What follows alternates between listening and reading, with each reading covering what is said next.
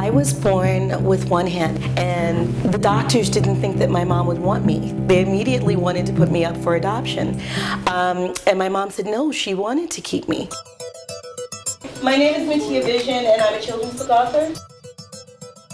When I was a child, my mom and I became homeless. I lived in a shelter, and it was one of Women in Need's first shelters. And it helped my mom and I get back on our feet.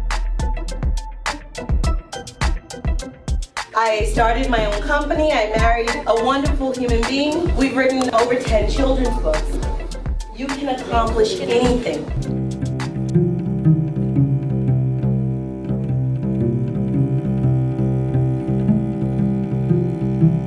When I was born, my mother was an unwed teen mom.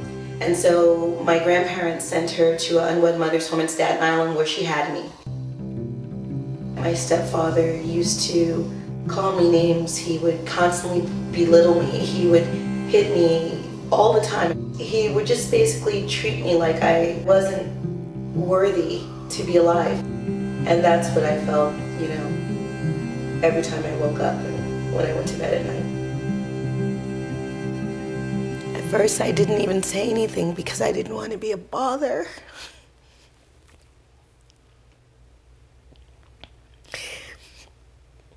I didn't want to be a weight to my mom, and I just didn't want to cause trouble. And so, you know, you just try to be strong.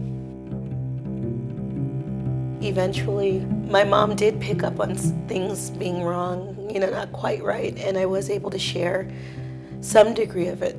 And she ended up leaving him.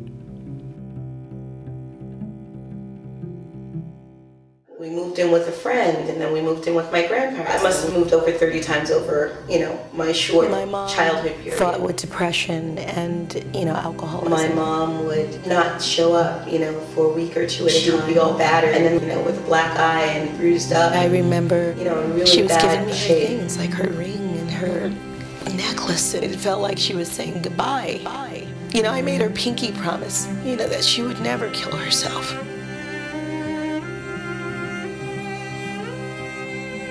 Women in Need offered counseling and they offered guidance. My mom got involved in non-traditional employment opportunity for women. It meant that she'd be able to maintain sobriety.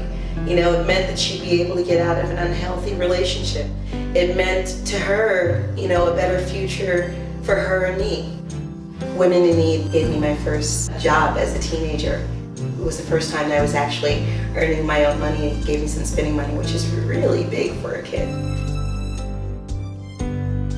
I also learned about volunteering and the spirit of giving back. One thing that makes me an awesome human being is if we hadn't had the resource of women in need stepping in, that would have been a tragedy. It would have not only affected my mom, but it would also have affected my ability to dream. I did no wrong. It's amazing to think that I was living in a homeless shelter at one time. And today, our five children have space to run around in a home that we purchased and we've created. My husband is a musician, he's a songwriter. Our daughters just came out with their first CD. You can always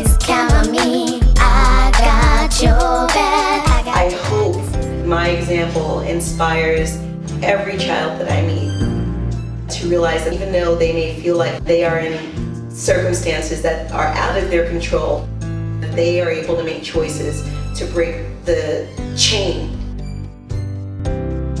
If there was no women in need, I don't even know what the picture could be. My mother never went backwards.